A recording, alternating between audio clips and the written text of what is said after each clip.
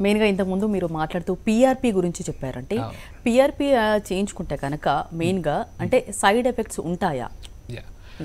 The thing is మనం ఇందాక నేను హెచ్టీ ఏదైతే మన ఓన్ ఫాలికల్ని మనం ట్రాన్స్ఫర్ చేస్తున్నామని చెప్తున్నానో పిఆర్పి అంటే ఏంటంటే ప్లేట్లెట్ రిచ్ ప్లాస్మా అంటారండి. అందులో గ్రోత్ ఫ్యాక్టర్స్ అనేవి ఉంటాయి.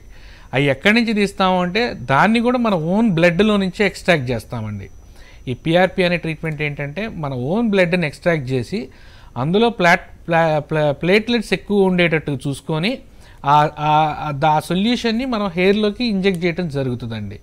ఎప్పుడైతే మన ఓన్ బాడీలో నుంచి తీసి వాడుతున్నాము అంటే hundred percent it is safe and no side effects అనే చెప్పాలండి. హండ్రెడ్ పర్సెంట్ సైడ్ ఎఫెక్ట్స్ ఉండవు. ఈ- ఈ గ్రోత్ ఫ్యాక్టర్ ఏదైతే బ్లడ్లో ప్లేట్లెట్స్లో ఉంటుందో దాన్ని మనము ఎక్కడైతే జుట్టు ఆ- అనారోగ్యంగా ఉందో లేదంటే స్కాల్ప్ అంటాము. జుట్టు మన ఉండే ఏరియాని స్కాల్ప్ అంటాము.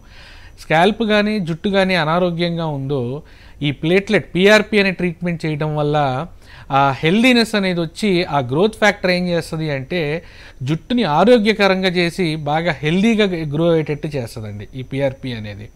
సో అది మన ఓన్ బ్లడ్లోంచి తీస్తాం కాబట్టి ఎట్టి పరిస్థితుల్లోనూ సైడ్ ఎఫెక్ట్స్ అంటూ ఉండవు. At the same time results కూడా అద్భుతంగా ఉంటాయండి.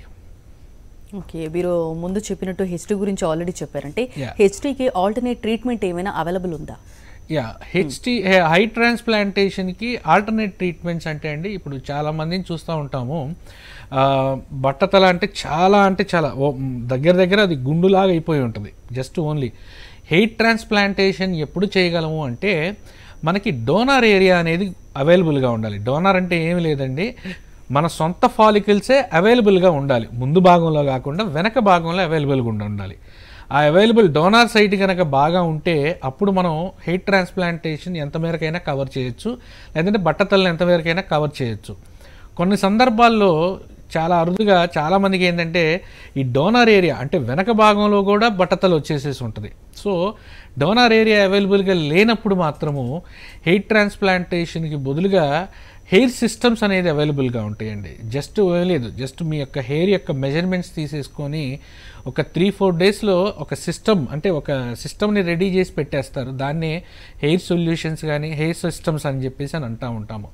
ఆ హెయిర్ ట్రాన్స్ప్లాంటేషన్ చేయలేని పక్షంలో హెయిర్ సిస్టమ్స్ అనేవి కూడా రెడీగా అవైలబుల్గా ఉంటాయండి. ఈ బట్టతల వారి బట్టతల మొత్తాన్ని కవర్ చేయడం కోసం అన్నట్టుగా. Okay? Other than hair transplantation hair systems are also available in Partha clinics.